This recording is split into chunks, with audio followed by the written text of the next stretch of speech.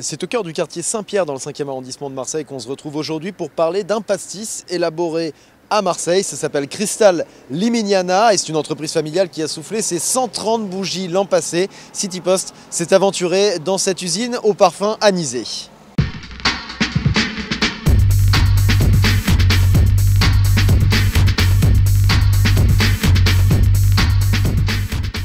Pour le pastis, euh, donc on va utiliser l'alcool, de l'eau, euh, réglisse, caramel et du sucre.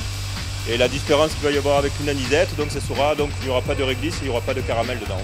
Euh, on est en cadence de 3000 bouteilleurs à peu près.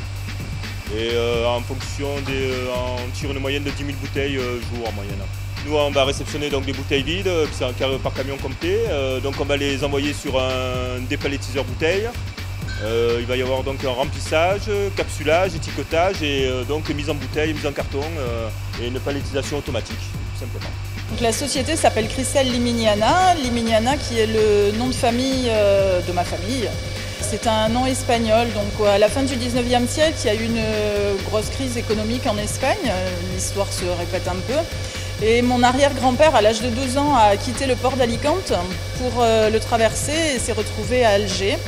Il a travaillé dans le bar euh, de son oncle qui était déjà euh, parti pour l'Algérie. Et il y avait beaucoup d'Espagnols euh, sur place qui regrettaient ce qu'on appelle en Espagne la paloma. La paloma, c'est l'anisette.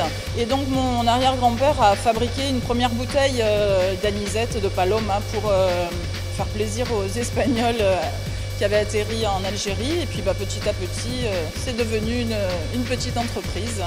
En 1962, l'indépendance de l'Algérie, mon grand-père euh, a quitté euh, Alger pour venir à Marseille. Donc c'est vraiment une histoire euh, méditerranéenne. Hein. Faire tourner une usine dans Marseille, perpétuer une histoire familiale mais également une tradition méditerranéenne et proposer un pastis de Marseille fait à Marseille. Trois facettes de cette entreprise estampillée locale à consommer avec modération bien sûr.